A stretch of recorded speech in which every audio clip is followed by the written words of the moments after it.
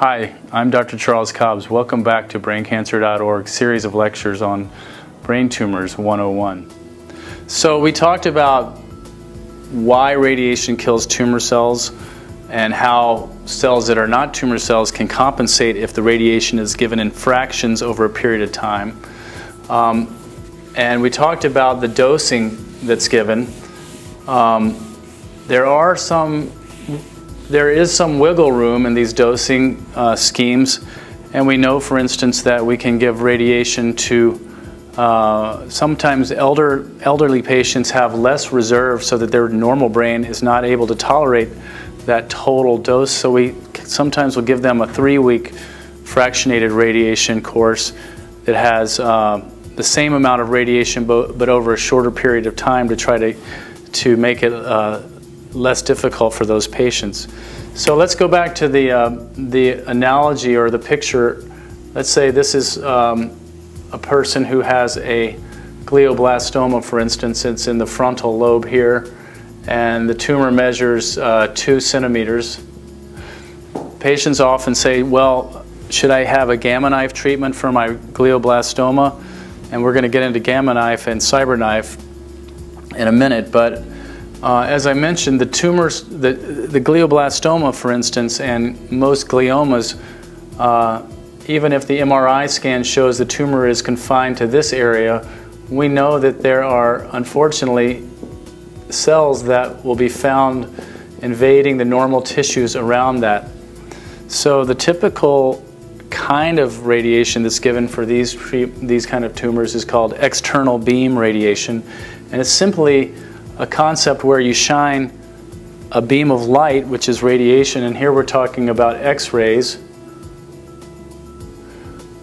We shine X-rays in this angle, this angle, and another angle so that if you're looking at the image on an MRI, and let's say this is the, the nose of the patient here, and the tumor is here, by shining X-rays in, in this direction, you may uh, get everything within that area plus a two centimeter perimeter to get these circulating tumor cells. And then another beam may be shined in this direction, and so it may get this area plus another two centimeters around. And in this way, external beam radiation creates a radiation field that treats the tumor and, and a two centimeter area around it, but doesn't affect the other parts of the brain.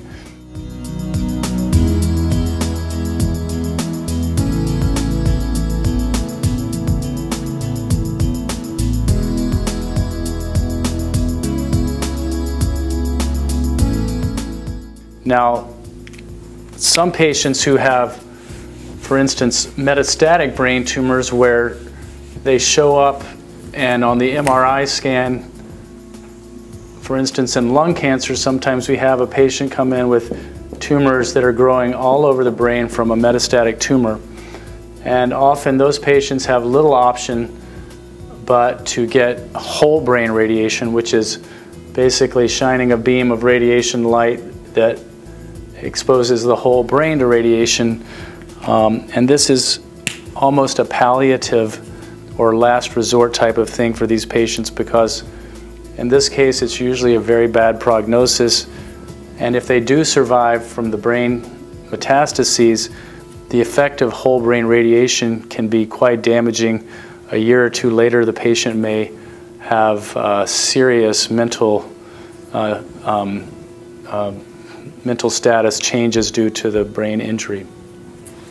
Um, in terms of the dosing of radiation, we've talked about uh, for glioblastoma, it's given in five fractions, one, two, three, four, five, one, two, three, four, five, one, two, three, four, five, one, two, three, four, five.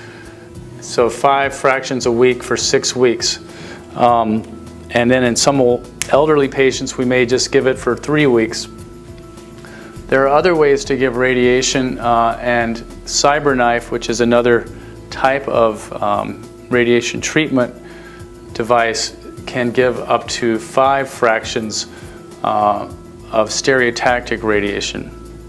So These are the types of uh, radiation treatments that most patients with brain tumors will be dealing with. And uh, in the next lectures, we're going to talk about stereotactic radiation treatment, which is more applicable to someone who comes in with one focused area, for instance, or a complicated shaped tumor that is uh, not the kind like a glioblastoma that extends into the adjacent tissues, but one where you would like to get a, a very tight, very high initial dose just to these cells, but none of the adjacent normal brain.